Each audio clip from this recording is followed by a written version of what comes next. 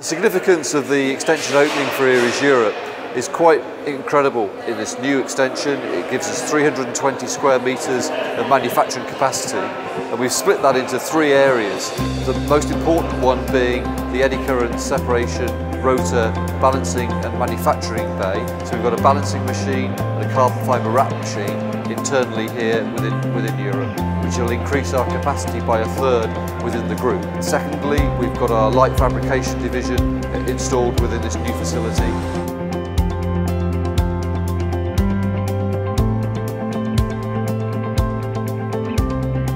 The achievement of this opening is an achievement of all of you who've worked here for years and years and have done things right.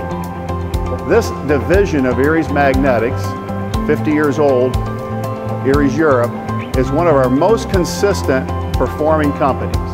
So I'm delighted to cut a ribbon and I get the glory, but the honor belongs to you because you've done things right for 50 years.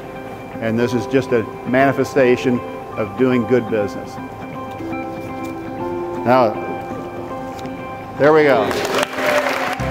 This extension celebrates our 50th year of manufacturing in, in South Wales. As a business, we've, we've developed enormously over that period of time.